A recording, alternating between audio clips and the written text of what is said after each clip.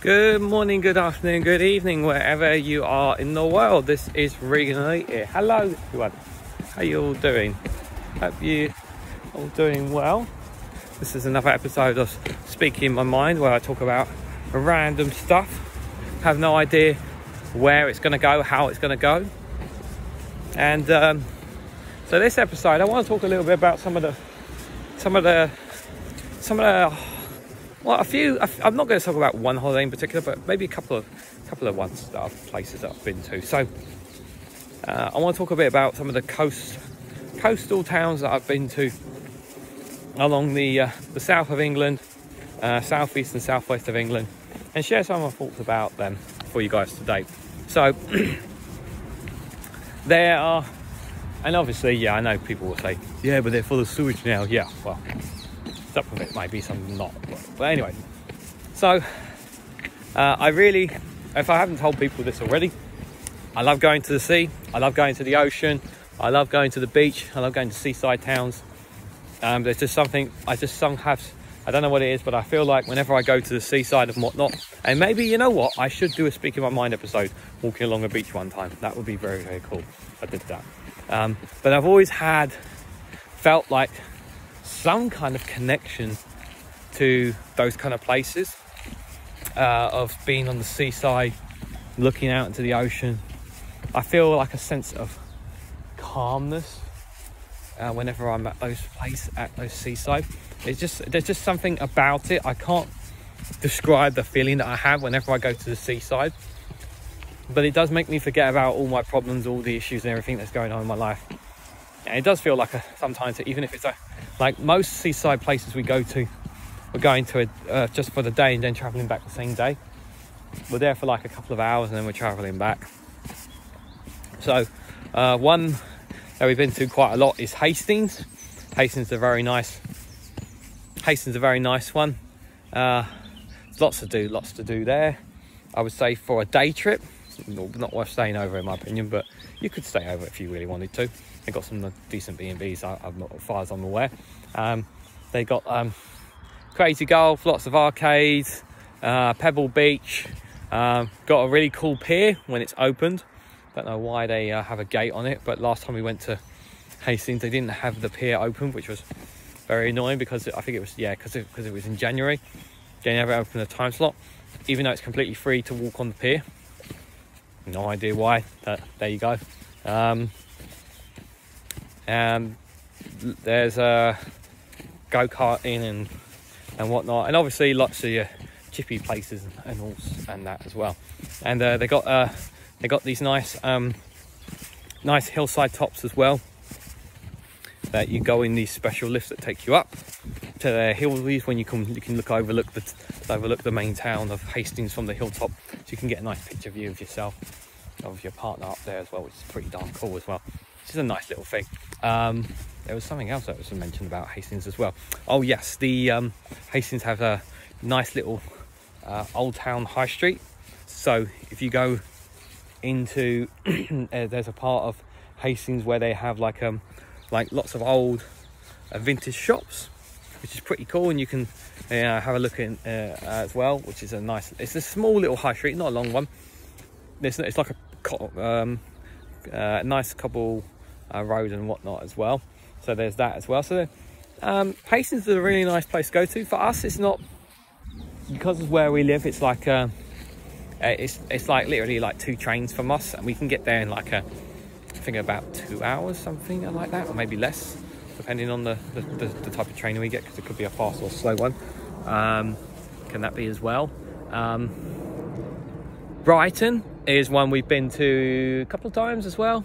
Um, Brighton's really nice. Um, another Pebble Beach. Um, lots of arcade places, crazy golf, and, and uh, they got the um, the wheel as well.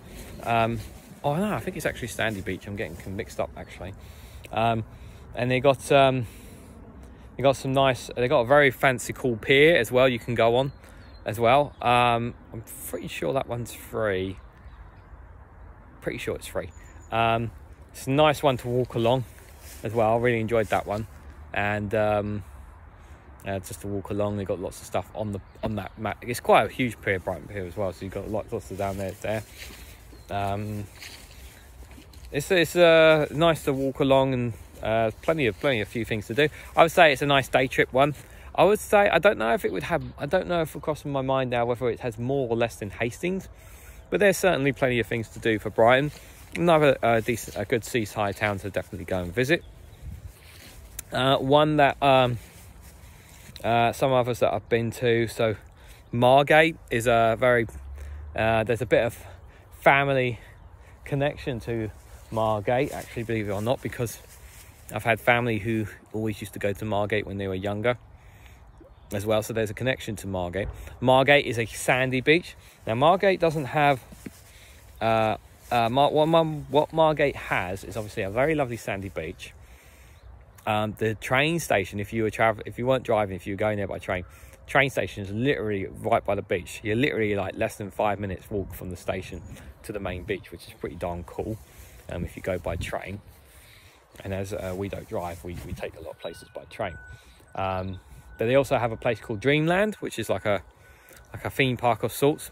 Now I've been told that the last people who went to Dreamland, they did not have a very good time. It's actually very expensive, and it's not value for money. Now that could change, and I would strongly recommend if you go to Margate and you plan on going to Dreamland, do check reviews for it first, um, because they might not be uh, worth your value for money. But that's only what I've heard from from relatives who have been to Dreamland. Maybe some people have different experiences. It's a nice beach, some shops. Um, not as definitely not as much as Hastings or Brighton in my opinion, but still, if you're going to go somewhere to the beach and you just want to sit on the beach all day, Margate's definitely one to go to. However, bear in mind, obviously, Margate is a very um, you can get very busy during the summer, very busy that beach. So you will be, uh, you will have lots of other people around as well. Um, some of the other ones we've been to, Broadstairs is a nice one. Um, it's not really for, how can I put this? Not really for my age, shall we say. A bit more older people, shall we say, who go to Broadstairs, and that's the kind of impression. Um, the, the the when we went to visit it, me and my partner, um, there was very rarely people my age or even a bit older than us. Very many much older people at, uh, at, at Broadstairs but it was a nice beach area. There wasn't a lot there. Um, I think we walked for, and you can actually, yeah, we did, we did. So we got a train to Broadstairs, and depending on the tide, um, you can walk the coastline from Broadstairs along the coast towards uh, Ramsgate. Uh, Ramsgate is there's not there's quite there's a little bit in Ramsgate to do, but um, they've got a beach as well, and they've got a few things there as well. Uh, not uh, a bit of a pier, but not much. Um, a few things here and there as well, but you can literally walk it. You could do. We we did quite a bit in, more. We did a bit more in Ramsgate than we did in Broadstairs. To be fair, because there wasn't a lot in Broadstairs. This was all in one day as well. Um, I would say it's a nice day trip, but I don't think it's worth us going back to those places if I'm honest. Um, one other place uh, we went on a day trip to not too long ago was uh, Littlehampton. Littlehampton's a, a nice little, uh, an interesting one. It was a, um, it's it's not easy to get to via uh, if you don't have public transport, if you don't have your own car. Um, it's got a nice beach there. Um, we got some nice walks along the coast. Um, not a lot in the town centre. They got a few arcades uh, as well and um, they got the crazy golf as well. To be fair, but um, I think that's just about it for Littlehampton. I mean, there's one or two other things I'm probably forgetting as well. Um, but it's a nice, it's a nice little um, Littlehampton's a nice little little one to visit along along the coast there. I found myself. Now, one that's uh, that's an uh, interesting one that people have different reasons is Dover. Uh, we've twice been to Dover. Um, no, not to cross over to cross over um, to France. No, uh, we visited Dover not once but twice. So the first time we went to Dover, we went to do the White Cliffs, the White Cliffs, and uh, luckily it wasn't too windy on the day. Um, but I can tell you that walk, it's a long walk, um, there and back. Um, but it was uh, to there to the like the lighthouse and, and back along the White Cliffs. And as you walk it, your phone signal will turn from British to French and sometimes French back to British along there because you're right on the edge. Um, it's absolutely gorgeous, the White Cliffs. They really are gorgeous. And you can really take some lovely pictures along there. It's beautiful, beautiful to walk. Um, but obviously just, there's no like, um, like fencing or whatever to stop you falling off the cliff. So don't get too close to the cliffs. You have to be really careful, bear that in mind. You know, just for those there. But um, uh, the, it's a really lovely walk. If you like walks, the White Cliffs of Dover, I highly recommend. And when you get to the, it's quite a, quite a walk as well because when you get, you'll get to this lighthouse, very far away from the car park.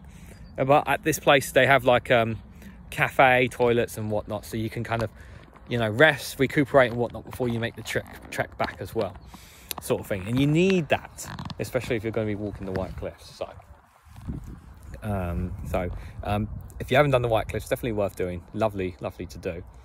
Um, I think that's under National Trust as well.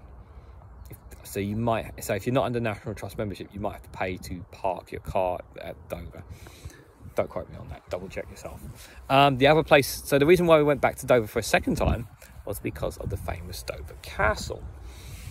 Um, Dover has a lovely castle with a great deal of history for it, and you and I kid you not, we spent nearly we spent pretty much all day in that castle. So initially we were going to do the White Cliffs of Dover and do the castle, but by the time we got back to the got back from the White Cliffs of Dover, it was already like three o'clock or something, and the castle only had like two hours left before it was open, and we actually walked from the White Cliffs to the castle and when we got there, and the guy said that they were closing in about uh, about an hour or so, and they said, "You sure you want to get tickets?" And in the end, we decided not to get the tickets and instead just went home because we were already knackered as it is. We've been on our feet walking the whole White Cliffs of Dover. So I will say, obviously, you will not be able to do the White Cliffs of Dover and Dover Castle in one day um, because there is so much in that castle uh, to explore, the history and whatnot. Um, I cannot remember if it, if what how much it was um, because it was part of um, who's the other one for Medu? Uh, so it's like um, it's like uh, uh, so it's like National Trust, but it's like for I can't remember its name. It's like they do it like for all the medieval uh, English history sort of thing. I can't remember their name, but I'm sure someone will mention it in the comments. But anyway, they uh, you you get a lot for for that castle. There's a lot to explore in it. So we literally spent, I don't know, maybe about five hours or something in that castle. I think something like that. Um, it was a lot to do. Uh, in the end, I thought it was. Uh, I, thought, I think it was value for money as well because there was so much history and what. And if you're someone who likes a lot of history, like historians and all that kind of stuff, definitely worth checking out. Going to Dover Castle, especially for history. Um, every now and then, whenever I check out um, Jenny, who does the Random Scottish History YouTube channel, and she goes to all these uh, historic places in Scotland. Now it makes me feel like, oh, I've got to go to Scotland. I've got to go on a trip with her to take me some of these fascinating places so we can learn about them. Because I do, I do generally want to go uh, to Scotland and, and not just obviously for the countryside and whatnot, but actually learn actually some of the history uh, from the experts there. Not just simply talking about it on a uh, on YouTube, but actually go there and see it and experience it. You know, um, but uh, Dover, Dover is a, you know, there's a lot to, so those two, apart from the White Cliffs and the castle, there's nothing really too else to do. I mean, you can, like, the, the, the you know, obviously there's the, the pool, obviously the, the Calais pool, but the pool to Calais and whatnot. That there's, there's a, there's areas of beach, um, which you can walk along, which is okay. Um, but nothing really there. Um, small little town centre, not, not really a lot um, in terms of like places, arcades and whatnot. It's not like Hastings that I spoke about or whatnot. So don't think of Dover like one of those towns. It's it's not. It's um, if you go to Dover to visit, go and do it for either the White Cliffs or for the castle, one of those two. Um, it's not really worth doing it for anything else, if I'm honest. But what do you guys think of some of the places that I've talked about? Um, what do you guys, have you guys been to any of them? Do you know anything about them yourselves? Let me know your thoughts about some of those places Brighton, Hastings, Broadstairs, Dover. Let me know your thoughts about some of them in the comments below. Don't forget to like, share, and subscribe, and I hope to catch you all very, very soon.